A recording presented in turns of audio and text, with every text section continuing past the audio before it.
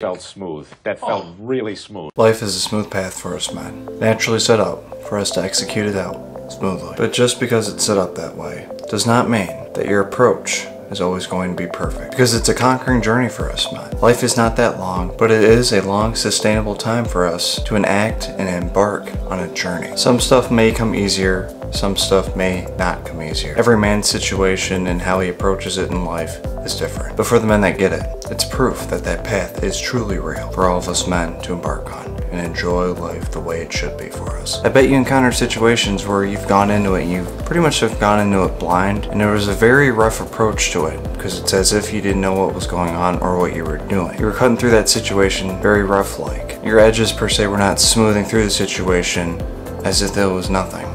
No smooth edges, very bumpy. And when you're caught in a situation like that, the result of that is very easy and simple to identify. Say you grew up very shy and you're desperate for a friend group, but you find it very hard to find one that is very right for yourself. So you settle for lesser top tier type of people to hang out with because they seemingly see to you as top tier. So you endure pain from them. You endure insults, physical pain, belittlement, all that. What's the result from that? What's the path like with that?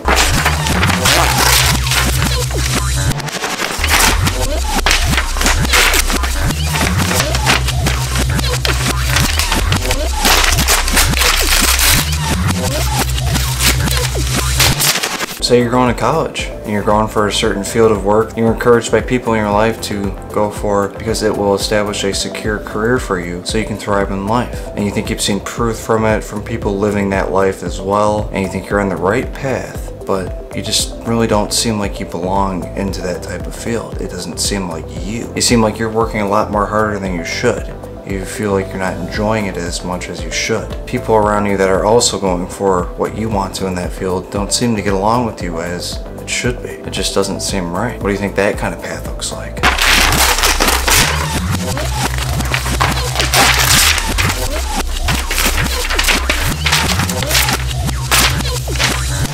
Or maybe from a very young age, you were mistreated a lot from people. You were judged, you were bullied, you were pushed around, you get the shit beat out of you, and it just turned you completely sour. You've been pummeled into a sour pulp that has hardened over time, and any look you get from anyone or any interaction, you become very mean. You have a solid sty on your face. You always look pissed off but for some reason you feel like you're accomplishing more in life this way. That you're actually enjoying this more because what you were getting out of it before was very unpopular with your worldview. But avoiding and hating people for so long just creates you in your own shell basically and you feel very lonely and you feel like you can't escape from that shell you feel like there's no way out of it you feel like this is how it is maybe people really do just fucking hate me how does that path look like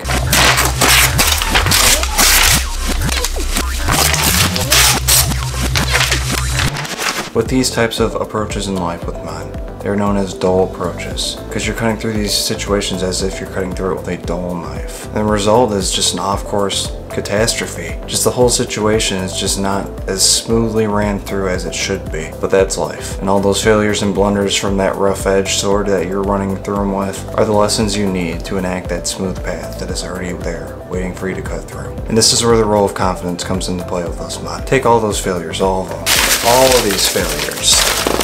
Study them. Study all these failures. Study what went wrong here. Study what, study what went wrong here. Study what happened here. Study the approach that happened here. What happened there? Study it and do the exact opposite of that approach. Learn the correct approach. That is confidence. Have confidence in what you did wrong and then taking the right approach to do it right. There's more than enough time in life to start a clean slate. To in a split second, you want to sharpen your blade to cut through life, to enact that smooth path. Dropping toxic people from your life that do not bring fulfillment to your life, and going towards people that bring fulfillment to your life. It may take time, it may take more trials and errors, but if you keep going at it, you keep taking that approach of what do I need in life, what truly makes me happy in life, what type of actions and attitudes from others that make me feel like I'm me, I feel accepted as well. Having the confidence to go out and find that. Knowing what you need. Have confidence of knowing what you need and finding it You know what you need. Go out and get it. That's confidence. Staying true to yourself, staying true to what you believe is your calling in life, your purpose, what makes you happy in life, what you want to do with your life, what work in life that makes you you in life. That just feels effortless. That feels like it's not even a job. That it's just life. That's just the way it's meant to be. And accepting people. Start with yourself. Accept who you are. If you want to be treated a certain way, why not treat the world that way first? Sure, you're gonna meet some fucking assholes in this world.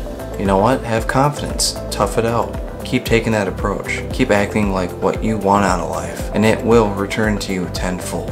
Have confidence with it. Do not back down to it. Do not shell yourself. Put it out there. Act it out there. Serve it out there. And it'll be served right back to you. And with the put forth act of confidence with these dull approaches, making you, as a man lost in this world, sharpens your blade, sharpens your knowledge, and your blade becomes very sharp.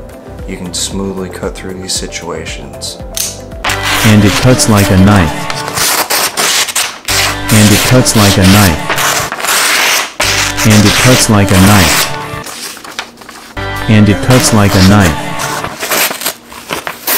And it cuts like a knife. I have confidence. Learn from those failures. Learn from those dull mistakes. And then sharpen your dullness to cut through that smooth path of life that is right there at your beckoning.